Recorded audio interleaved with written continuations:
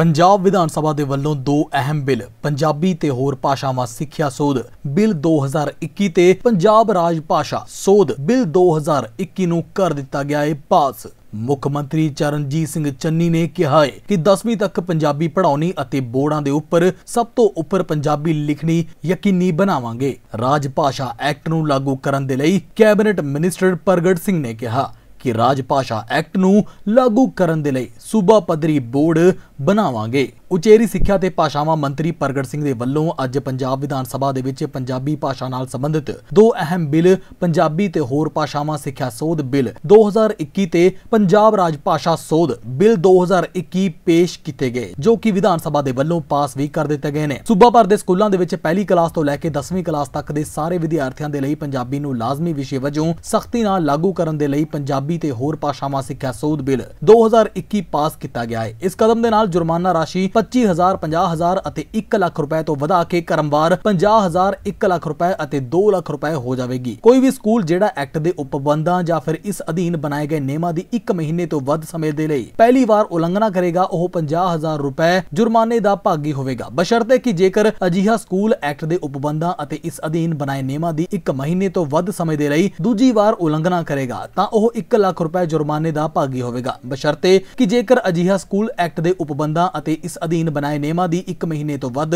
ਸਮੇਂ ਦੇ ਲਈ ਤੀਜੀ ਵਾਰ ਉਲੰਘਣਾ ਕਰੇਗਾ ਤਾਂ ਉਹ 2 ਲੱਖ ਰੁਪਏ ਜੁਰਮਾਨੇ ਦਾ ਭਾਗੀ ਹੋਵੇਗਾ। ਦੂਜਾ ਬਿੱਲ ਪੰਜਾਬੀ ਰਾਜ ਭਾਸ਼ਾ ਸੋਧ ਬਿੱਲ 2021 ਪਾਸ ਕੀਤਾ ਗਿਆ ਹੈ, ਜਿਸ ਤਹਿਤ ਦਫ਼ਤਰੀ ਕੰਮਕਾਜ ਪੰਜਾਬੀ ਭਾਸ਼ਾ ਦੇ ਵਿੱਚ ਨਾ ਕਰਨ ਵਾਲੇ ਅਧਿਕਾਰੀਆਂ, ਕਰਮਚਾਰੀਆਂ ਵਿਰੁੱਧ ਸਜ਼ਾ ਤੋਂ ਇਲਾਵਾ ਜੁਰਮਾਨੇ ਦੀ ਵਿਵਸਥਾ ਕੀਤੀ ਗਈ ਹੈ। ਪਹਿਲੀ ਵਾਰ ਉਲੰਘਣਾ ਕਰਨ ਵਾਲੇ ਕਰਮਚਾਰੀ ਨੂੰ ਸਮਰਥ ਅਥਾਰਟੀ, ਡਾਇਰੈਕਟਰ ਭਾਸ਼ਾ ਵਿਭਾਗ ਪੰਜਾਬੀ ਦੀਆਂ ਸਿਫਾਰਸ਼ਾਂ ਅਨੁਸਾਰ 500 ਰੁਪਏ ਜੁਰਮਾਨਾ ਕੀਤਾ ਜਾ ਸਕਦਾ ਹੈ। ਦੂਜੀ ਵਾਰ ਉਲੰਘਣਾ ਕਰਨ ਉੱਤੇ ਅਜਿਹਾ ਜੁਰਮਾਨਾ 2000 ਰੁਪਏ ਅਤੇ ਤੀਜੀ ਵਾਰ ਕਰਨ ਉੱਤੇ ਅਜਿਹਾ ਜੁਰਮਾਨਾ 5000 ਰੁਪਏ ਤੱਕ ਕੀਤਾ ਜਾ ਸਕਦਾ ਹੈ। ਅਜਿਹਾ ਜੁਰਮਾਨਾ ਅਧਿਕਾਰੀ ਕਰਮਚਾਰੀ ਦੀ ਤਨਖਾਹ ਵਿੱਚੋਂ ਸੰਬੰਧਿਤ ਵੰਡ ਤੇ ਖਰਚਣ ਅਧਿਕਾਰੀ ਵੱਲੋਂ ਵਸੂਲ ਕੀਤਾ ਜਾਵੇਗਾ। ਇਸ ਮੌਕੇ ਮੁੱਖ ਮੰਤਰੀ ਚਰਨਜੀਤ ਸਿੰਘ ਚੰਨੀ ਨੇ ਸੂਬਾ ਸਰਕਾਰ ਦੀ ਪੰਜਾਬੀ ਮਾਤ ਭਾਸ਼ਾ ਨੂੰ ਪ੍ਰਫੁੱਲਤ ਕਰਨ ਦੇ ਲਈ ਵਚਨਬੱਧਤਾ ਨੂੰ ਦੁਹਰਾਉਂਦਿਆਂ ਕਿਹਾ ਕਿ ਜਿੱਥੇ ਸੂਬੇ ਵਿੱਚ ਸਾਰੇ ਸਕੂਲਾਂ ਵਿੱਚ 10ਵੀਂ ਤੱਕ ਪੰਜਾਬੀ ਭਾਸ਼ਾ ਪੜ੍ਹਾਉਣਾ ਲਾਜ਼ਮੀ ਹੋਵੇਗਾ, ਉਸੇ ਸੂਬੇ ਦੇ ਵਿੱਚ ਸਾਰੇ ਬੋਰਡਾਂ ਦੇ ਉੱਪਰ ਸਭ ਤੋਂ ਉੱਪਰ ਪੰਜਾਬੀ ਭਾਸ਼ਾ ਲਿਖਣੀ ਯਕੀਨੀ ਬਣਾਈ ਜਾਵੇਗੀ। ਉਚੇਰੀ ਸਿੱਖਿਆ ਤੇ ਭਾਸ਼ਾਵਾਂ ਬਾਰੇ ਮੰਤਰੀ ਪ੍ਰਗਟ ਸਿੰਘ ਨੇ ਇਸ ਮੌਕੇ ਤੇ ਬੋਲਦੇ ਹੋਏ ਕਿਹਾ ਕਿ ਪੰਜਾਬੀ ਸਾਡੀ ਮਾਤ ਭਾਸ਼ਾ ਹੈ, ਜਿਸ ਨੂੰ ਪ੍ਰਫੁੱਲਤ ਕਰਨ ਦੇ ਲਈ ਅਸੀਂ ਹਰ ਸੰਭਵ ਉਪਰਾਲੇ ਕਰ ਰਹੇ ਹਾਂ। ਉਹਨਾਂ ਕਿਹਾ ਕਿ ਇਸ ਵੇਲੇ ਪੰਜਾਬ ਵਿੱਚ 23 ਵਿੱਚੋਂ 21 ਜ਼ਿਲ੍ਹਿਆਂ ਦੇ ਵਿੱਚ ਜ਼ਿਲ੍ਹਾ ਭਾਸ਼ਾ ਅਫਸਰ ਦੀਆਂ ਅਸਾਮੀਆਂ ਖਾਲੀ ਸਨ, ਜਿਨ੍ਹਾਂ ਨੂੰ ਆਉਂਦੇ ਦਿਨਾਂ ਦੇ ਵਿੱਚ ਭਰਿਆ ਜਾ ਰਿਹਾ ਹੈ। ਇਸੇ ਤਰ੍ਹਾਂ ਰਾਜ ਭਾਸ਼ਾ ਐਕਟ ਨੂੰ ਲਾਗੂ ਕਰਨ ਦੇ ਲਈ ਸੂਬਾ ਪੱਧਰੀ ਬੋਰਡ ਜਾਂ ਕਮੇਟੀ ਬਣੇਗੀ ਅਤੇ ਇਸੇ ਤਰਜ਼ ਦੇ ਉੱਤੇ ਜ਼ਿਲ੍ਹਾ ਪੱਧਰ ਉੱਤੇ ਵੀ ਕਮੇਟੀਆਂ ਬਣਨਗੀਆਂ, ਜੋ ਕਿ ਪੰਜਾਬੀ ਭਾਸ਼ਾ ਸੰਬੰਧੀ ਐਕਟ ਨੂੰ ਸਖਤੀ ਦੇ ਨਾਲ ਲਾਗੂ ਕਰਵਾਉਣਗੀਆਂ। ਅਤੇ ਕੁਝ ਇਸੇ ਪ੍ਰਕਾਰ ਦਾ ਇੱਕ ਮਾਮਲਾ ਦੇਖਣ ਨੂੰ ਆਇਆ ਸੀ। ਲੁਧਿਆਣਾ ਜ਼ਿਲ੍ਹੇ ਦੇ ਵਿੱਚ, ਜਿੱਥੇ ਕਿ ਪੰਜਾਬੀ ਭਾਸ਼ਾ ਦੀ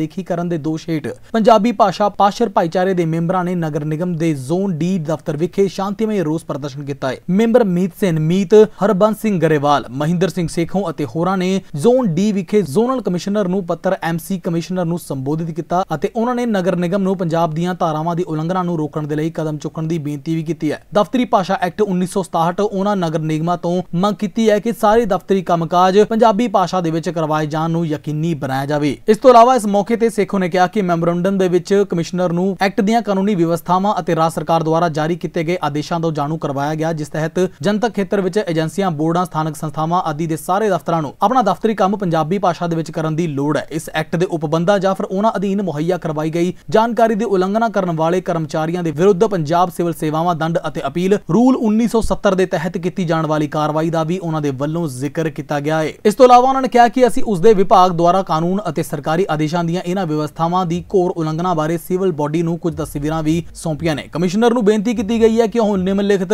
ਅਣਗਹਿਲੀ ਵੱਲ ਧਿਆਨ ਦੇਣ ਤਾਂ ਜੋ ਪੰਜਾਬ ਦੀ ਸਰਕਾਰੀ ਭਾਸ਼ਾ ਮਾਂ ਬੋਲੀ ਪੰਜਾਬੀ ਨੂੰ ਸਰਕਾਰ ਦੇ ਵੱਲੋਂ ਬਣਦਾ ਸਤਿਕਾਰ ਦਿੱਤਾ ਜਾ ਸਕੇ। ਉਹਨਾਂ ਮੰਗ ਕੀਤੀ ਕਿ ਐਮਸੀ ਦੀ ਅਧਿਕਾਰਤ ਵੈਬਸਾਈਟ ਅਤੇ ਫੇਸਬੁੱਕ ਅਕਾਊਂਟ ਵੀ ਪੰਜਾਬੀ ਦੇ ਵਿੱਚ ਬਣਾਇਆ ਜਾਵੇ ਤਾਂ ਕਿ ਲੋਕਾਂ ਨੂੰ ਕਿਸੇ ਵੀ ਪ੍ਰਕਾਰ ਦੀ ਕੋਈ ਮੁਸ਼ਕਲ ਦਾ ਸਾਹਮਣਾ ਨਾ ਕਰਨਾ ਪਵੇ। ਪਰੰਤੂ ਚਰਨਜੀਤ ਸਿੰਘ ਚੰਨੀ ਸਰਕਾਰ ਦੇ ਵੱਲੋਂ ਪਹਿਲਾਂ ਤੋਂ ਹੀ ਇਸ ਦੇ ਉੱਪਰ ਜੋ ਸਕਾਰਾਤਮਕ ਕਦਮ ਚੁੱਕੇ ਗਏ ਨੇ, ਉਸ ਦੀ ਚਾਰੋਂ ਪਾਸੇ ਸ਼ਲਾਘਾ ਕੀਤੀ ਜਾ ਰਹੀ ਹੈ। ਬਾਕੀ ਇਸ ਦੇ ਬਾਰੇ 'ਚ ਤੁਸੀਂ ਕੀ ਕੀ ਕਹਿਣਾ ਚਾਹੋਗੇ? ਇਸ ਦੇ ਬਾਰੇ 'ਚ ਕਮੈਂਟ ਸੈਕਸ਼ਨ ਦੇ ਵਿੱਚ ਆ ਕੇ ਦੱਸਣਾ। ਬਿਲਕੁਲ ਵੀ ਨਾ ਭੁੱਲਣਾ।